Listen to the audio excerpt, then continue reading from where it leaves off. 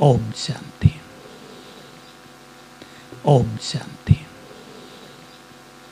ओम शांति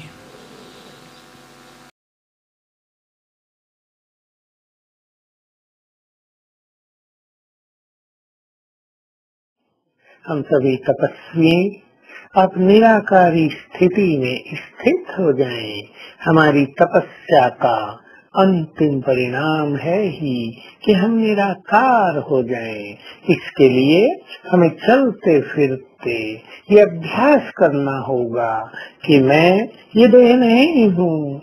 मैं तो चैतन्य आत्मा, चमकती हुई ज्योति मास्टर ज्ञान सूर्य, पवित्रता का सूर्य हूँ। मैंने तो इस देह में अवतार लिया है।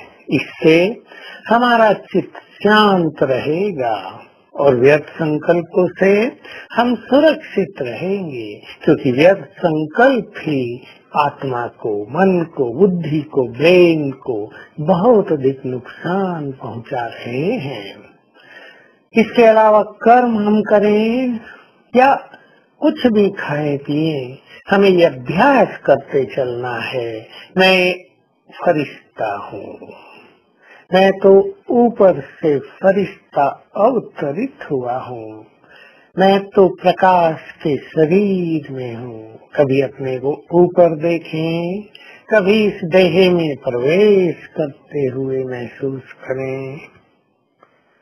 फरिश्ते का काम सभी को सकाश देना ही है, क्योंकि हम ऊपर से आए हैं एक महान कार्य के लिए कि हमें सबको सकाश देना है, सहयोग देना है, हमारा दूसरों को वाइब्रेशंस देना सबसे बड़ा सहयोग है।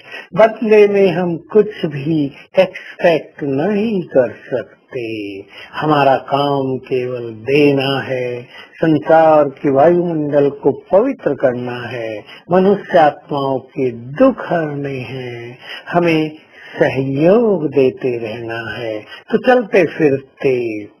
पानी पी रहे हैं। मैं पवित्रता का फरिश्ता हूँ।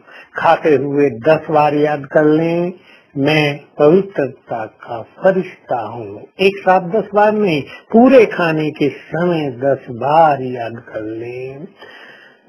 सोने से पहले दस बार याद कर लें। बाइक चलाएँ, शुरू करें, दो बार याद करें। बीच बीच में भी याद करें और मुझसे चारों ओर प्रकाश फैल रहा है।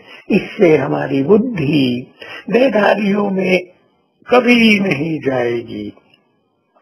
हमारी दृष्टि आत्मिक हो जाएगी और हम एक महान स्पिरिचुअल एनर्जी से स्वयं को भरपूर करेंगे। आत्मिक दृष्टि होने से हम संसार को सकाश देते हैं। हमारी किरणें चारों ओर फैलने लगती हैं।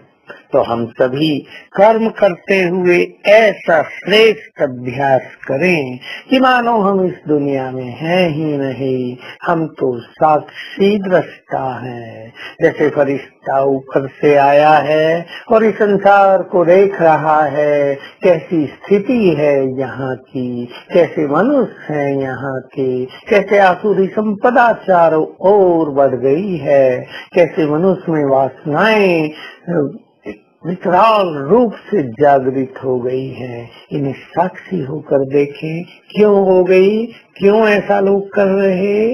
ये क्यों नहीं? साक्षी दृष्टा माना, क्यों के क्वेश्चन से सदा मुक्त?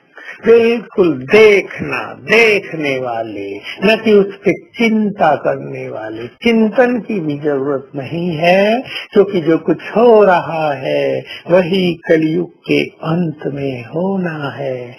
उसमें चेंज नहीं किया जा सकता। चेंज करने वाले तो हम हैं। बाबा है, जो अब इस युग को ही बदल देंगे। तो आज सारा दिन हम अपने को प्रकाश की देह में और मैं आत्मा प्रकाशमान मस्तक के बीच चमकती ज्योति हूँ। ऐसा मैं फरिश्ता हूँ, और मेरे अंग अंग से प्रकाश फैल रहा है। ये बहुत अच्छा अभ्यास करेंगे, और कभी अभ्यास करेंगे, साक्षी होकर सभी आत्माओं को, मनुष्यों को, इस कलयुगी संसार को, होने वाली घटनाओं को देखेंगे। और महसूस करेंगे मेरे मस्तक से। हम एक तरफ़ खड़े हैं, हमारे मस्तक से प्रकाश की किरणें निकलकर सारे संसार पर पड़ रही हैं। इससे बहुत सुखद अनुभूति होगी। तो आप सबको बहुत बहुत थैंक्स ओम शांति।